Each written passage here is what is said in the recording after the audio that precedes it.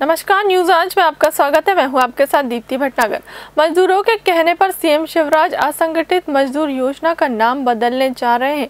CM ने कहा कि कई मजदूरों ने उनसे कहा कि असंगठित कहने में दिक्कत आती है, जिसके चलते सरकार अब इस योजना का नाम बदलकर मुख्यमंत्री गरीब कल्याण योजना रखने जा रही है। मुख्यमंत्री ने कहा कि मुख्यमंत्री कल्याण योजना में गरीबों का इलाज निःशुल्क कराया जाएगा। इसके लिए राज्य सरकार योजना तैयार कर रही है। बीजेपी के कार्यकर्ताओं ने सीएम से कहा कि वे ध्यान रखें कि गरीबों का अधिक से अधिक पंजीयन असंगठित मजदूर योजना में हो, ताकि आने वाले समय में लोगों को इसका लाभ मिल सके। हमने जो गरीब कल्याण की हमारी योजना है मुख्यमंत्री असंगठित मजदूर कल्याण योजना नाम था तो मुझे कुछ मजदूरों ने कहा कि असंगठित असंगठित हमसे कहते नहीं बनता।